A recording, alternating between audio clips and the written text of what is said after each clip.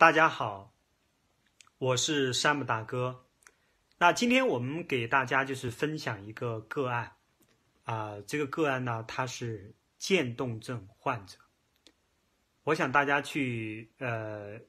可能都有了解，这个世界这个渐冻症是这个现在是一个世界的医学难题啊。那这个呃这个个案呢，他是呃人在香港。嗯，他是六六零年出生的，然后据他的交代呢，他这一生呢，就是说还是一向是很健康的，那而且还坚持运动。那么从十六岁开始的时候就开始信佛，而且还还经常去放生。但是呢，就在几年前，这个呃就开始这个这个生病，就开始发生了这个人生呢，就发生了这个三。翻天覆地的变化，就大概在四年前，他就开始感冒咳嗽，然后一直就是说话不清楚，然后在两年前呢就被诊断为这个渐冻症，直到今年就开始恶化。那医生呢，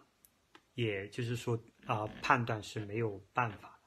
那期间呢，佛祖也看过三十多位医生。那比如说看了中医、针灸、能量疗愈，还找过很多师傅帮忙，少林寺的，然后道医、密宗、神医都没有办法。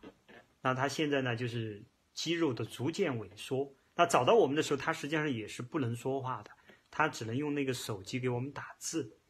那今年呢，就是说这个啊、这个症状更加的严重，说话不清楚，吞咽困难，四肢不能够呃。自如，然后抬不起头，背痛，哎、等等，然后四肢容易抽筋，那就是那已经是这样的一个情况了。那遇到我们呢，我们嗯调出了他的元神，然后我们去去呃拜访了这个陈乃夫人。那陈乃夫人呢，就给他啊查了他的这个这个病因，就是我们说啊，若问啊呃这个。若问前世因，今生受者是。说我们要去给他啊查他这个啊前世的因果。那我们其中呢就查到有一世呢，就是啊他是这个啊在在这个啊男儿身，在一个中产阶级，然后家庭呢各方面都比较不错啊，但是呢他由于跟这个父亲的相处也不好，然后结婚之后跟这个媳妇儿相处也不好。生了七个孩子，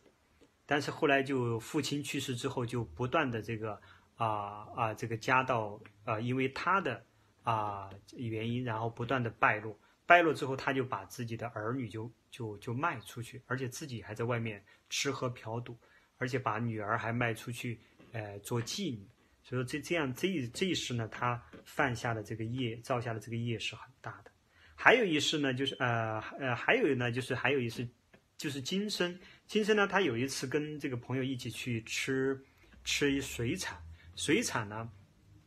他呢是一个点杀这个水产的，那这个这个当时的这个鱼呢，就正好是有灵有灵性的东西在，就是它是有灵的，所以说他就被杀了，所以说这个有有一个啊造造成了一个杀业。那还有一世呢，就是在这个清朝的时候啊，就是说他的家呃。家里就是说比较富裕，但是呢，他经常去克扣百姓啊、和这些其他的这些这些贫苦的人的这个啊、钱财，哎、就是呃呃呃，就是像就是就是比较刻薄啊，那么造成了他今生呢，就是说这样的一个情况啊、所以说他今天就是说呃，面临现在的一个状况的话啊、大部分是他前世造的这个啊、因。那也我们也就是说反复请示的这个这个陈乃夫人，陈乃夫人说呢，她目前这个状况基本上啊，就是说呃，